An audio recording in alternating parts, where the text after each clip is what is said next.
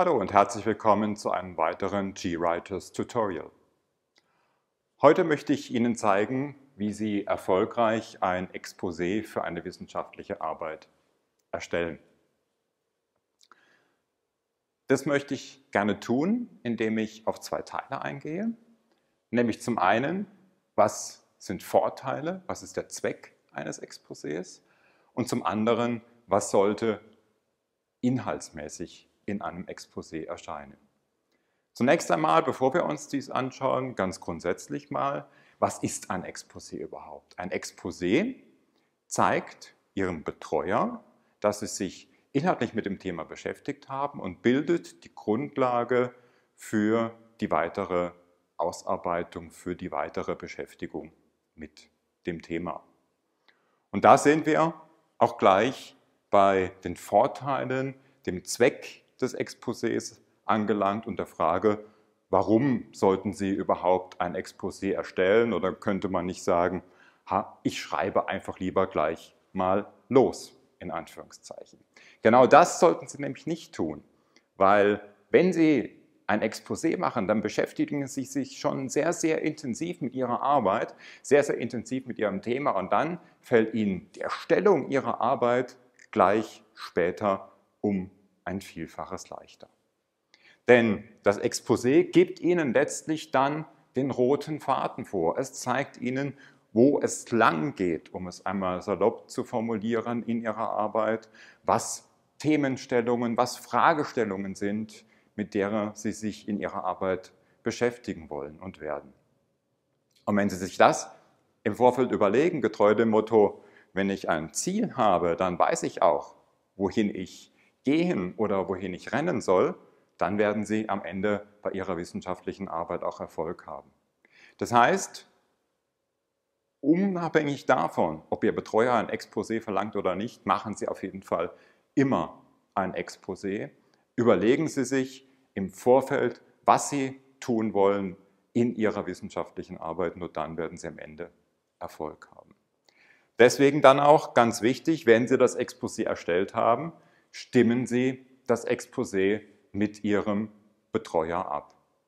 Denn das bringt Ihnen die Sicherheit, dass Sie am Ende dann noch sagen können, das haben wir aber im Vorfeld abgestimmt, das war die Grundlage für meine wissenschaftliche Arbeit. Und das bringt Ihrem Betreuer auch die Sicherheit, weil das ist letztlich auch dann die Basis, auf dem seine Beurteilung fußen wird. Und ein weiterer großer Vorteil, den Sie nicht unterschätzen dürfen, ein Exposé ist natürlich dann noch immer Teil der Arbeit. Das heißt, das, was Sie im Exposé erarbeitet haben, können Sie dann natürlich eins zu eins, weil das haben Sie ja schon erarbeitet, auch in Ihre wissenschaftliche Arbeit übernehmen. Und das können ruhig auch mal, je nach Umfang, acht bis zehn Seiten sein, weil das ist mit Sicherheit der übliche Umfang, den ein Exposé hat. Und je nachdem, wie viel Inhalt und wie viele Seiten Ihre wissenschaftliche Arbeit dann hat, kann das dann gut sein, dann haben Sie schon ein Drittel oder ein Viertel Ihrer wissenschaftlichen Arbeit mit dem Exposé erschlagen. Kurzum, Ihr Exposé ist also keiner Art und Weise vergeudete Zeit, sondern ist eine gute Basis und eine gute Vorbereitung für Ihre wissenschaftliche Arbeit. Vielmehr sogar, es ist Inhalt später Ihrer wissenschaftlichen Arbeit. Ja, und das Stichwort Inhalt bringt uns dann zum nächsten Thema. Was sollte denn in Ihrem Exposé alles drinnen stehen? Es sind mehrere Punkte. Die ersten drei, die drei wichtigsten, habe ich hier mal aufgeschrieben. Wir kommen später dann noch zu weiteren, die ich dann noch aufschreiben werde. Der erste Punkt, die Problemstellung. Bei der Problemstellung, worum geht es hier? Da geht es darum, dass Sie sich auseinandersetzen. Was ist überhaupt das Problem? Was ist überhaupt die Fragestellung, bei der Sie sich mit Ihrer wissenschaftlichen Arbeit beschäftigen? Das heißt, hier gilt es, sich ganz intensiv in die wissenschaftliche Literatur einzuarbeiten, diese zu reflektieren, diese kritisch zu reflektieren und dann darzustellen, was ist das Problem, was ist die Fragestellung, was ist vielleicht auch die Forschungslücke, die Sie erkannt haben und wo Sie dann mit Hilfe Ihrer wissenschaftlichen Arbeit eine Lösung finden wollen. Das bringt Sie unmittelbar dann zum zweiten Punkt, Ihres Exposés, nämlich zum Thema Zielsetzung. Stellen Sie sich immer die Frage, was soll ganz am Ende stehen, wenn ich meine wissenschaftliche Arbeit erstellt habe? Was ist am Ende das Ziel? Ist es beispielsweise die Auseinandersetzung mit dem aktuellen Stand zu einem Thema? Ist es die Ableitung von Handlungsempfehlungen? Ist es die Erarbeitung eines betriebswirtschaftlichen Konzeptes? Ist es die Abwägung von Erkenntnissen aus der Theorie mit Erkenntnissen aus der Praxis, wenn Sie beispielsweise eine empirische Arbeit schreiben, ergänzt um eine Literaturrecherche? All diese Fragestellungen sollten Sie sich stellen, wenn Sie hier im Bereich Zielsetzung unterwegs sind. Im Bereich Methodik, hier sollten Sie dann beschreiben, mit welcher Methodik arbeiten Sie in Ihrer wissenschaftlichen Arbeit.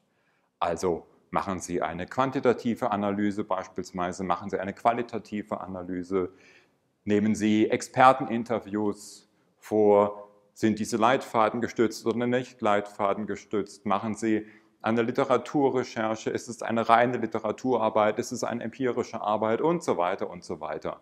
Also diese ganzen Fragestellungen gilt es hier im Bereich der Methodik zu beantworten. Das sind schon mal die drei wichtigsten Fragestellungen und die drei wichtigsten Inhalte eines Exposés. Aber bei weitem nicht alle, denn ein paar wichtige kommen noch hinzu, auf die ich ganz gerne jetzt noch eingehen möchte. Der nächste Punkt ist nämlich das Thema der Fragestellung. Fragestellung, die ergibt sich in der Regel automatisch aus der Problemstellung und aus der Zielsetzung der Arbeit. Das heißt, welche Fragestellung ist denn letztlich Basis Ihrer wissenschaftlichen Arbeit? Was soll beantwortet werden? Das heißt, hieraus resultieren dann auch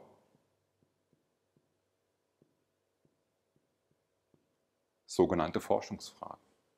Forschungsfragen sind Fragen, die Sie am Ende, ausgehend von Ihrer Zielsetzung, bei Ihrer wissenschaftlichen Arbeit beantwortet haben sollten.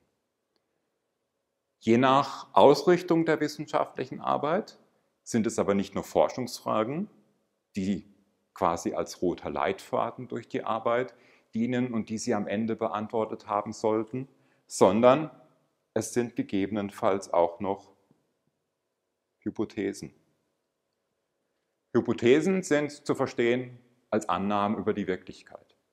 Annahmen, die Sie stellen zu Ihrem Thema, zu Ihrer Problemstellung, zu Ihrer Untersuchung und die Sie dann im Rahmen Ihrer wissenschaftlichen Arbeit entweder bejahen oder verneinen können.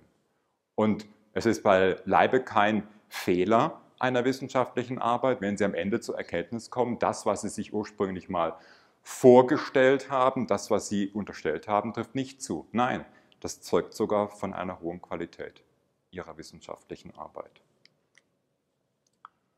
Als letzter, als wichtiger Punkt oder als vorletzter wichtiger Punkt haben Sie noch die Vorgehensweise. Bei der Vorgehensweise beschreiben Sie relativ kurz und knapp, wie Sie innerhalb der Arbeit vorgehen, sprich wie sie gegliedert ist. Und diese Gliederung ist natürlich auch ein wichtiger Punkt Ihrer wissenschaftlichen Arbeit und natürlich auch Ihres Exposés. Das heißt, neben der Vorgehensweise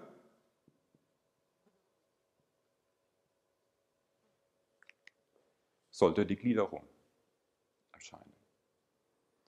Und als finaler Punkt sozusagen, wenn Sie dann all das reflektiert haben, plus die anderen drei Punkte, die ich Ihnen aufgezeigt habe, gilt es natürlich, sich zu überlegen,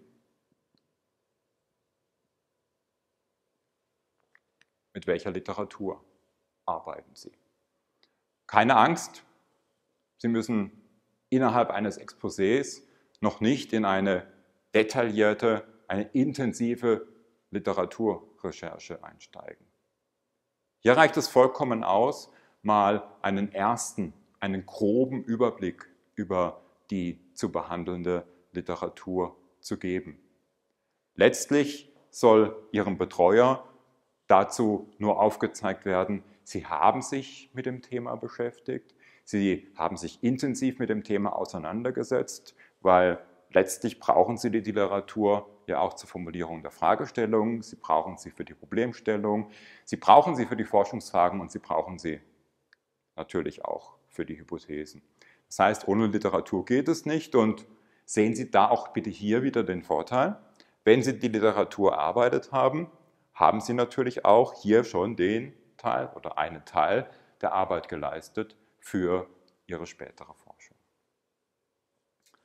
Ja, und wenn Sie diese Grundregeln beachten, dann haben Sie die besten Voraussetzungen gelegt für eine erfolgreiche wissenschaftliche Arbeit. Sie sehen also, Exposé ist nicht etwas, was man tun kann, sondern ist ein Muss bei jeder wissenschaftlichen Arbeit, auch, und das kann ich Ihnen nur empfehlen, wenn es Ihr Betreuer nicht verlangt, weil Sie erreichen damit, dass Sie sich intensiv mit Ihrem wissenschaftlichen Thema beschäftigen und auseinandersetzen, dass Sie einen roten Faden haben, auf den Sie dann später in Ihrer wissenschaftlichen Arbeit aufbauen können. In diesem Sinne wünsche ich Ihnen viel Glück und viel Erfolg bei Ihrer wissenschaftlichen Arbeit und viel Erfolg bei der Erstellung Ihres Exposés.